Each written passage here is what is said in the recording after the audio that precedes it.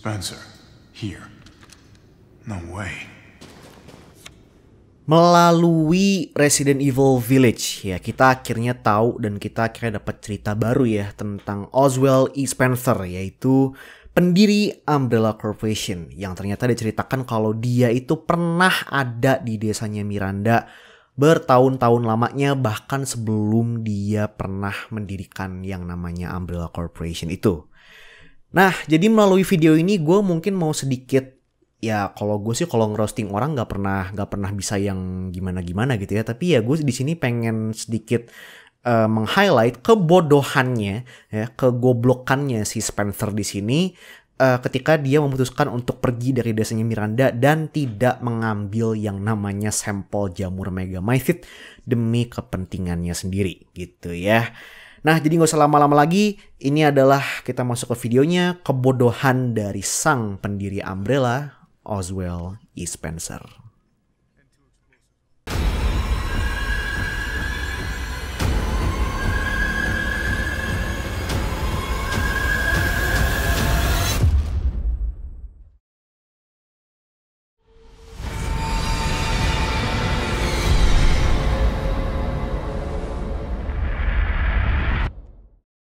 Oke, jadi sedikit gue ceritakan dulu sejarahnya ya, karena gue rasa uh, sayangnya masih ada yang belum terlalu uh, clear atau belum terlalu jelas tentang hubungan antara si Oswald E. Spencer ini dengan uh, Miranda di Resident Evil Village. Oke, jadi Oswald E. Spencer, buat yang lupa juga Spencer ini adalah salah satu dari tiga orang pendiri utamanya Umbrella Corporation. Dan dia adalah CEO yang paling atas gitu ya. Kalau kalian masih bingung dia itu siapa, dia sempat muncul di salah satu flashbacknya di Resident Evil 5 ketika dia dibunuh oleh Albert Wesker. Dan dia juga muncul sebagai salah satu playable uh, mastermind ya di Resident Evil Resistance kemarin. Tapi itu nggak terlalu penting juga ya kalau kemunculan dia di Resistance kemarin gitu. Oke, jadi di Resident Evil Village itu diceritakan kalau Oswald E. Spencer itu pernah menjadi muridnya dari Miranda sebelum akhirnya dia mendirikan yang namanya Umbrella Corporation. Nah, Spencer sendiri itu bertemu dengan Miranda ketika dia mengalami kecelakaan, ketika si Spencer ini mengalami kecelakaan ketika dia sedang mendaki gunung yang gunungnya itu tidak jauh dari desa milik Miranda. Dan ini adalah jauh ketika dia masih menjadi seorang mahasiswa. Ya kalau nggak salah dia mau jadi dia jadi ini ya jadi medical student kalau nggak salah si Spencer itu. Nah akhirnya ketika kecelakaan ya kemudian si Spencer itu lagi sekarat, Miranda akhirnya membawa Spencer ini kembali ke desanya, kemudian dirawat sampai dia 100% pulih. Dan setelah pemulihannya, Spencer akhirnya memutuskan untuk tinggal selama beberapa tahun di desa milik Miranda ini. Nah, akhirnya pada suatu waktu Miranda akhirnya mengungkap rahasia Megamycete kepada Spencer di sini tentang bagaimana Megamycete itu dapat uh, memutasi, mengasimilasi dan juga berpotensi untuk menghidupkan kembali mereka yang sudah mati. Nah, Miranda juga mengajarkan Spencer tentang sejarah dari desanya, sampai logo Umbrella dan juga keempat dari desa sebelumnya, dan juga tentu saja Miranda juga memberitahu tujuan utamanya dengan Megamycete, yaitu untuk menghidupkan kembali anak semata wayangnya, yaitu Eva. Dan karena Miranda itu adalah seorang biologis atau ahli biologi yang handal, Spencer juga mengakui bahwa ia telah belajar banyak dari Miranda dan telah terinspirasi oleh Megamycete-nya untuk menciptakan evolusinya sendiri. Dan bahkan Spencer itu sampai menyatakan kalau dia akan selamanya berhutang terhadap Miranda dan dia menganggap dirinya sebagai uh, murid lifelong studentnya si Miranda, si Spencer itu di sini. Jadi itu bisa dikatakan kalau kita ngelihat sejarah Spencer sejauh ini ya yang udah diceritakan oleh Resident Evil sejauh ini, Miranda itu adalah satu-satunya ya orang yang sangat dihormati oleh Spencer. Karena sejauh ini kalau misalnya kita ngelihat sifatnya Spencer itu dia adalah orang yang punya uh, superior superiority, gue sampai susah ngomongnya, superiority kompleks gitu ya, superiority kompleks ya di mana dia kalau misalkan ngelihat orang yang di dia dia pasti ya langsung kayak ah, apa sih rakyat jelata gitu-gitu ya. Tapi ketika dia bertemu sama Miranda ini, ini bener-bener adalah orang yang sangat dia hormati. Banget, banget, banget kalau misalkan gue ngeliat dari surat, nada suratnya dia gitu ya. Nah sebagai sepasang guru dan murid tentunya juga mereka sering bertukar yang namanya uh, pikiran dan juga bertukar saling bertukar visi gitu ya.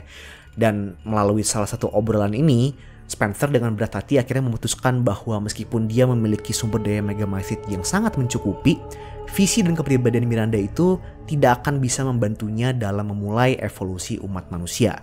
Dan akhirnya inilah suatu hari Spencer akhirnya memutuskan untuk pergi dari desa tersebut tanpa dia berpamitan dengan Miranda. Tapi akhirnya Spencer menyempatkan untuk mengirimkan sebuah surat kepada Miranda untuk memberikan kabar tentang penemuan progenitor virus serta rencananya untuk membuat yang namanya Umbrella Corporation menggunakan logo payung yang berasal dari desa tersebut. Jadi ini juga kayak semacam dia nyari approval gitu ya dari dari Miranda gitu ya di mana dia pengen mentornya itu merasa bangga dengan dirinya gitu ya yang sudah berhasil dalam menemukan virus dan juga nantinya akan membuat sebuah perusahaan. Nah jadi dengan kematiannya Spencer sama Miranda sekarang gitu ya Kalau Spencer itu dia udah meninggal dari tahun 2006 Kalau Miranda kemarin dibunuh sama Ethan tahun 2021 Ya kemarin gitu ya bisa dibilang ya Bisa diasumsikan ya Spencer sama Miranda itu mereka belum sempat bertemu lagi Hingga masing-masing dari mereka sudah menemui ajalnya Nah, itu tadi sedikit sejarahnya Spencer dan Miranda. Nah, sekarang perkara kegoblokannya si Spencer gitu di sini ya.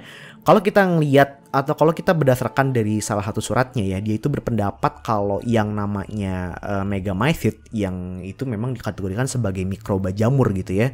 Itu menurut dia tidak akan mencapai tingkat infeksi yang eksponensial untuk evolusi manusia dan menambahkan juga bahwa virus menurut dia adalah mikroba yang lebih efektif dalam menyebarkan infeksi.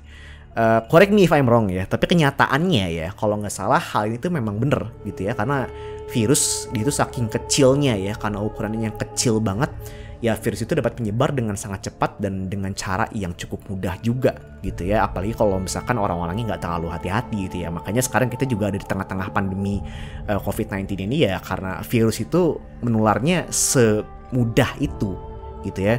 Kalau misalkan dibandingkan dengan jamur, sekali lagi correct me if I'm wrong ya berarti lebih gampang yang namanya uh, virus gitu ya untuk menyebar gitu. Tapi menurut gue pribadi di sini Spencer itu terlalu meremehkan ya potensi dari jamur Megamycete ini. Dan jujurnya cukup sekali lagi goblok banget ya bagi Spencer untuk tidak mengambil atau bahkan nyuri ya satu atau sedikit aja sampel dari Megamycete untuk penelitian lebih lanjut gitu. Karena gue nggak percaya nih, selama masanya dia ada di desa itu, selama dia tinggal di desa itu selama bertahun-tahun lamanya, gak mungkin Spencer itu nggak ketemu dengan salah satu dari empat lords ya, mulai dari Dimitrescu, Beneviento, kemudian Simrow dan Heisenberg. Pasti ya pasti dia pernah ketemu lah sama mereka gitu dan pasti dia juga memperhatikan kalau mereka juga sama-sama bukan manusia normal gitu kan si uh, Dimitrescu dengan tingginya dan cakarnya, kemudian Monroe yang udah kayak monster, atau menurut gue yang paling akan menarik perhatiannya uh, Spencer itu pasti adalah Heisenberg ya, dengan dia kemampuannya adalah untuk mengendalikan metal gitu loh. Dan sebenarnya kita juga nggak perlu jauh-jauh ngebicarain tentang Forlots gitu loh, karena dengan Spencer yang sangat dekat dengan Miranda dan dia juga tahu tentang rahasianya Miranda, dia tahu kalau dia adalah seseorang yang immortal ya berkat uh, jamur Megamycete ini Spencer tuh sebenarnya sudah menemukan kunci untuk hidup abadi gitu loh. Dia sudah berhasil menemukan kunci hidup abadi di situ dan pada dasarnya kan itu juga uh, sesuai dengan visinya dia ya. Di mana visi pertamanya Spencer itu adalah dia ingin mengebrak atau mengevolusi umat manusia dia punya pandangan eugenik gitu ya untuk memperbaiki umat manusia agar di dunia ini tidak ada lagi yang namanya kecacatan fisik dan kelemahan fisik gitu ya dan akhirnya setelah semua itu uh, terwujud dia akan muncul sebagai the most superior human being dan akhirnya akan memimpin semua umat manusia sebagai Tuhan gitu loh. Dan kalau misalkan menurut gua salah satu cara untuk mencapai supaya dia bisa menjadi Tuhan itu ya dia harus bisa hidup abadi. Dan Mega Masjid ini tuh adalah kunci dia gitu loh seharusnya supaya dia bisa hidup abadi gitu kan. Tapi ya ya gitulah ya gobloknya si Spencer gitu ya. Bukannya dia minta izin untuk ya minta sampel atau seenggaknya dia bisa nyuri gitu kan.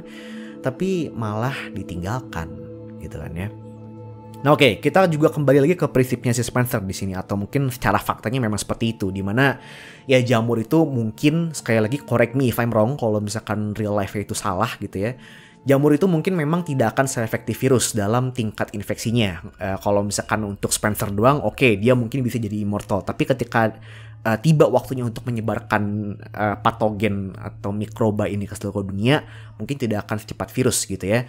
Tapi ya, ya bukan berarti Spencer itu tidak bisa menemukan kegunaan lain untuk jamur unik ini gitu ya. Apalagi kalau misalkan dia berhasil juga dapetin yang namanya sampel parasit kadu gitu loh. Karena ya seperti yang pernah gue bilang di video pembahasan megamycete kan ya kalau megamycete mungkin cukup B aja gitu ya. Tapi parasit kadu ini loh yang punya potensi uh, cuannya itu gede banget gitu kan ya Bahkan nih ya, ketika Spencer itu pertama kali mendirikan Umbrella ya dengan dua orang lainnya, kalau misalnya kalian lupa pendiri Umbrella itu ada Spencer, kemudian ada Dr. James Marcus ya untuk penciptanya T-Virus, kemudian juga ada dari keluarga Ashford yaitu si Edward Ashford. Nah mereka bertiga kan setuju kalau mereka itu akan menciptakan uh, perusahaan Umbrella ini selain mereka itu pengen melancarkan visi eugenika mereka, tapi mereka juga bakal bikin produk-produk mainstream gitu ya kayak bikin kosmetik, obat-obatan, kemudian juga mereka bakal ngejual yang namanya senjata biologis dan membuat virus-virus senjata biologis gitu ya untuk akhirnya dijual kepada militer di mana akhirnya semua hasil penjualan dari produk-produk dalam tanda kutip mainstream itu termasuk penjualan senjata biologis data dan keuntungannya mereka akan alokasikan ke penelitian mereka supaya mereka bisa melancarkan evolusi manusia dan juga melancarkan visi eugenika mereka. Nah mereka kan udah punya visi seperti itu ya, di mana salah satu tujuannya adalah untuk menciptakan yang namanya senjata biologis. Sekarang kita lihat ke arah progenitor virus gitu ya, di mana itu adalah virus yang mereka temukan di Afrika dan jadi bapaknya T-virus di sini ya ketika mereka pertama kali nemu progenitor virus pada tahun 1967 ya 1966 atau antara 1967 mereka itu pertama kali menemukan bunga uh, yang ada di Resident Evil 5 di progenitor virus itu. Itu tuh butuh waktu hingga 11 tahun lamanya loh. 11 tahun dari 1967 sampai bisa mereka menciptakan yang namanya T-virus. Dan sampai ada zombie pertama kali yang muncul di universe Resident Evil itu ya masih di tahun yang sama kira-kira di tahun 1966an atau tahun 1967an gitu ya. Mereka bisa menciptakan T-virus yang uh, hore bisa pertama kali bisa dipakai dan kemudian zombinya juga gitu ya. Nah sekarang bayangin kalau misalkan Spencer itu bisa memanfaatkan yang namanya Megamycete dan juga parasit kadu untuk menciptakan ya kita lihatlah di Resident Evil Village ada apa coba? Ada si Moraika yang kayak zombie itu kemudian Lycan Lycan loh Lycan itu lo ben itu benar-benar efektif banget loh kalau misalkan dijadikan senjata biologis atau dijadikan BOW itu efektif banget Lycan itu loh. Udah sih memang mereka cepet ya. Mereka sangat mematikan dan sebenarnya tidak terlalu berbeda jauh dengan zombie juga gitu ya. Mereka makan daging dan ya seperti itulah ya seperti yang kalian bisa perhatikan di Resident Evil Village. Itu tuh kedua makhluk atau mungkin Lycan itu adalah satu makhluk yang sangat punya daya jual yang tinggi banget kalau misalkan kita tawarin atau mereka tawarin ke pihak militer. Mengingat ya mereka dapat dengan mudah dikendalikan juga gitu ya. Lycan itu kan nurut ya ke Miranda, ke Heisenberg, keempat Lord itu dan ke Miranda mereka bener-bener nurut gitu loh. Dan mereka sangat mudah dikendalikan. Nah perlu diingat ya, kalau kita bicara tentang BOW-nya Umbrella, nah hal yang paling sulit mereka ciptakan ketika mereka membuat BOW itu adalah BOW yang dapat dikendalikan hunter, uh, kemudian zombie gitu ya, uh, arguably, kemudian juga Cerberus atau mungkin Tyrant sekalipun itu mungkin mereka adalah sesuatu yang sempurna gitu ya di on paper, tapi ketika mereka harus menjaga uh, kendalinya, ketika mereka harus memberikan perintah, ketika mereka harus mengendalikan mereka untuk ngapa-ngapain aja, itu adalah tes yang sangat susah banget untuk Umbrella. Bahkan menurut gue untuk Los Illuminados kayak si Sandler itu mereka bahkan lebih sukses ya untuk menciptakan monster atau BOW yang bisa dikendalikan yang pastinya juga bakal lebih laku di pasar gelap gitu loh ketimbang apa yang diciptakan oleh Umbrella di sini. Nah, kalau misalkan si Spencer di sini bisa memanfaatkan Mega Mythid gitu ya, menurut gue penelitian dan penciptaan yang namanya untuk Tyrant ya, untuk Project Tyrant itu harusnya juga bakal bisa lebih cepat gitu ya. Dan bahkan Umbrella punya potensi untuk bisa menciptakan senjata biologis yang lebih mematikan lagi dan bisa jadi produser senjata biologis yang ya memang sih pada saat itu mereka adalah produser yang paling tinggi kastanya. Tapi ya dengan Megamycete ini gue rasa mereka bisa jadi yang paling tinggi lagi dari apa yang sebelumnya mereka bisa uh, capai gitu ya dengan T-virus dan juga progenitor virus di sini. Nah, kita juga bahkan belum bicara soal soldat loh. Soldatnya si Heisenberg yang ada di pabrik itu gue rasa kita semua bisa setuju lah kalau mereka bahkan lebih cocok lagi kalau misalkan digunakan oleh militer untuk perang atau mungkin untuk menebar uh, sebuah teror gitu ya. Kalau misalkan dijual ke grup teroris itu dipakai di satu kota atau negara gue rasa itu bahkan bisa lebih efektif lagi gitu kan ya untuk si soldat di sini. Dan bahkan kalau misalkan mereka punya mega ya kalau misalkan mereka kekeh pengen tetap jalan dengan yang namanya progenitor virus ya Spencer dan para koleganya ini juga bukan orang-orang bodoh secara intelektual gitu ya. Mereka benar-benar adalah peneliti dan ahli biologis yang uh, mengerikan semua gitu ya pen, uh, apa pengetahuannya gitu. Jadi mereka itu punya potensi untuk menciptakan suatu patogen yang baru gitu ya dengan ya gue nggak tahu ya gue juga bukan orang biologi gitu ya tapi kalau misalnya mereka bisa uh, bikin kombinasi antara megamycete dan juga T-virus ya gue nggak tahu kalau misalkan real life-nya apakah bisa atau tidak gitu. Tapi yang namanya juga ini adalah cerita fiksi gitu ya. Jadi hal-hal seperti ini juga jadi bisa mungkin terjadi gitu ya. Mungkin mereka bisa memaksimalkan megamycete dengan virus atau sebaliknya mereka bisa memaksimalkan uh, mutasi yang dibawa oleh T-virus dengan megamycete jadi mungkin mereka bisa uh, menyebarkan virus dengan lebih mudah gitu ya kalau misalnya kita kembali ke prinsip sebelumnya di mana virus itu lebih mudah tersebar ya mereka bisa menyebarkan virus dengan lebih gampang tapi dengan atribut yang sudah diperkuat dengan jamur megamycete di sini gitu ya Coba lu sekarang lu bayangin aja kalau misalkan ada Mr. X atau Nemesis yang bahkan dari awalnya pun sudah cukup mematikan gitu ya. Kemudian mereka ditambah dengan Mega Megamycete atau at least dengan parasit kadu. Nah udah tuh si Leon palanya buntung beneran diremes sama Mr. X atau Jill udah modar aja tuh dari Raccoon City kalau misalkan bener-bener mereka bisa bikin BOW dengan campuran Mega Megamycete di sini gitu ya. Nah, jadi ya gitulah ya mungkin untuk uh, kegoblokannya si Spencer gitu ya. Tapi di sini gue sedikit mengesampingkan juga mungkin ya kebodohan Spencer atau kegoblokan Spencer di sini. Ya kemungkinan besar ini juga adalah suatu contoh atau suatu gambaran yang paling akurat sejauh ini di Resident Evil tentang yang namanya rasa hormat ya antara murid terhadap gurunya gitu loh. Karena kalau misalkan kita ngelihat kepribadiannya Spencer di sini ya, seperti yang gue bilang tadi di awal dia kan punya yang namanya superiority complex juga gitu. Kemudian dia adalah orang yang sangat sangat sangat paranoid banget dan dia at least in my opinion gak punya yang namanya honorable trait sama sekali gitu ya. Dan dari segi kepintaran pun dia juga tidak lebih pintar dari Marcus dan juga Ashford selaku dua dari partner dia dalam mendirikan Umbrella kan karena ya mereka adalah orang yang sebenarnya lebih membawa kontribusi gitu ya dalam hal penelitian di mana kalau misalkan si uh, Markus itu adalah penciptanya T-virus dan kalau misalkan Ashford itu adalah dia lah bahkan ya kalau Ashford udah pasti dia lebih pinter ya karena ketika dia lagi proses meneliti progenitor virus akhirnya kan dibunuh juga kan sama Spencer supaya hasil penelitiannya dia bisa dicuri dan dia bisa take credit atas apa yang diciptakan nantinya oleh Ashford. Nah, dengan kepribadiannya yang seperti itu dan juga dengan kekayaan dan sumber dayanya dia ya selaku dari salah satu CEO-nya Umbrella, Spencer itu menurut gue buat dia gampang aja kalau misalkan dia mau balik lagi ke desanya Miranda, mungkin dia bawa pasukan atau bawa pasukan paramiliternya sendiri gitu ya. Bersenjata lengkap semua bener-bener digempur itu desa supaya dia bisa ngerebut Mega Megamycete dengan paksa dari Miranda. Ya Miranda mungkin bisa dilawan sama pasukan militernya atau mungkin pasukan militernya bakal dia korbanin sementara si Spencer kabur dan bawa uh, Megamycete buat diri dia sendiri tapi kan setelah dia jadi CEO Umbrella pun dia tidak melakukan hal itu gitu ya.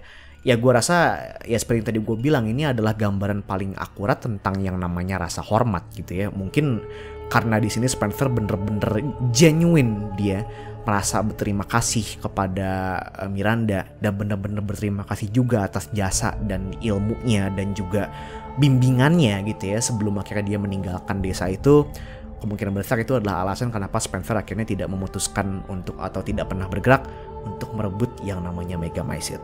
In a way yang mungkin dia juga sedikit simpati gitu ya dengan uh, tujuan Miranda yaitu untuk menghidupkan kembali anaknya gitu loh. Dan bahkan kan di salah satu suratnya seperti yang gue bilang dia ngirim surat itu dia kayak semacam cari approval juga gitu kan dari mentor lamanya. Dan ya gitulah dia pengen supaya mentornya itu bisa bangga dengan apa yang sudah dia capai sekarang atau sebelumnya gitu ya dengan penemuan progenitor virus dan juga pendirian Umbrella Corporation. Nah, jadi videonya cukup sampai di sini saja. Langsung aja pada komentar kalau komentar pendapat kalian tentang kegoblokannya pendiri Umbrella yang satu ini gitu ya. Untuk pembahasan selanjutnya bisa ditunggu aja kalau misalkan pengen saranin pembahasan juga bisa. Dan kalian juga bisa follow IG pribadi gue di @yudaputra kalau misalkan pada gatal-gatal pengen follow-followan gitu ya. Dan kita ketemu lagi di video selanjutnya. Gue rasa next gue bakal langsung mainin Village yang bakal ngerusak gamenya sih ya. Kayak gue udah baca kok ada beberapa rekomendasi mod. Uh, beberapa udah gue install dan ada beberapa mungkin yang nggak bisa gue tunjukkan juga di live gitu ya ya entah itu karena belum kebaca atau mungkin karena terlalu NSFW gitu ya tapi in a way uh, bukan in a way maksudnya Terima kasih ya semua rekomendasinya nanti bakal gue pakai tapi sorry banget kalau misalkan rekomendasinya ada yang gak kepake sama gue nanti pas gue live streaming ya. Oke segini dulu untuk video kali ini sekali lagi gue pakai trik signing off dan thank you banget guys yang udah nonton. Bye bye.